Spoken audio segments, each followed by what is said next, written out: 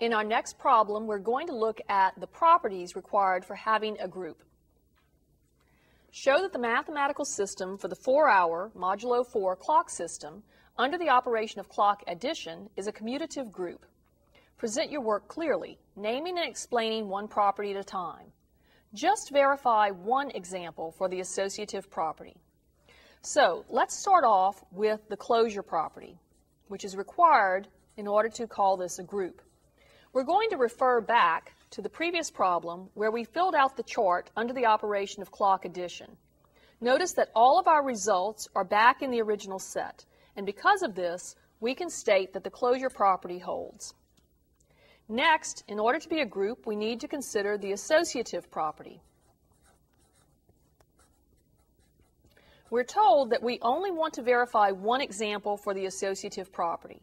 So we're just going to pick some elements. For instance, we can take 3 plus 1 plus 2, and we can try to see whether or not that's going to be equal to 3 plus 1 in parentheses plus 2. Now, we'll refer back to our table to do the arithmetic. We'll start off with 1 plus 2. According to our table, 1 plus 2 is going to give us a result of 3. And then let's continue with this side of the equation. 3 plus 3, 3 plus 3 gives us a result of 2. So on the left-hand side of the equation, our answer is 2. Let's see what we come up with on the right-hand side. We start off with evaluating 3 plus 1. We add 3 plus 1 and come down to where the row and column intersect to give us our answer of 0. And then 0 plus 2, you can do the same thing with the table. 0 plus 2 gives us a result of 2. And so we can see that the associative property is going to hold for this example, and we'll assume that it holds in all cases. The next thing we need to consider is whether we can, can find an identity element. Now, remember that an identity element occurs when we start with an element from the set, such as A, we combine it with the identity,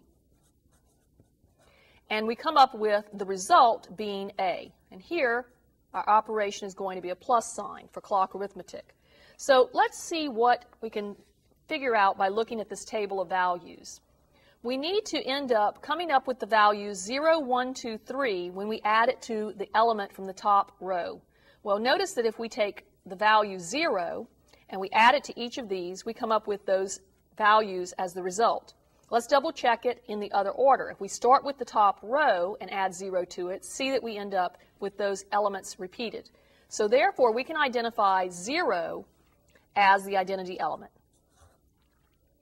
And then we want to look for inverses. We have to have inverse for each element in order to say that this is a group.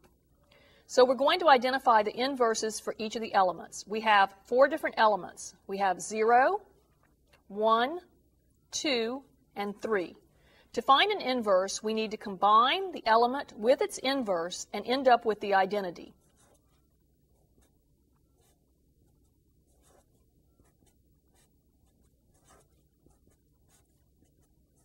And we need to make sure that this would occur in the opposite order also. In other words, if we change the order of addition, we need to come up with the identity again. So let's just double check this. 0 plus what would give us 0? Well, that one's pretty easy. If we add 0 to itself, we end up with 0. 1 plus what gives us 0? Let's check the table. We need to come up with the result of 0 by adding 1 to another value. If we take 1 and add 3 to it, we come up with 0. So 1 plus 3 is going to give us 0. 2 plus what gives us 0? Again, using the table, we're looking for a result of 0, and we can see that that occurs when we add 2 to itself, to 2. And then 3 plus what gives us 0? Again, back to the table. If we take 3 and add that to 1, we come up with 0. So 3 plus 1 equals 0. Now, we don't have to worry about commutative property because we see that 0 is its own inverse. We can see that 1 plus 3 is 0, and that's the same as 3 plus 1. So 1 is going to be the inverse of 3, and 3 is going to be the inverse of 1. And then 2 is its own inverse. So we've identified the four properties that are required for it being a group.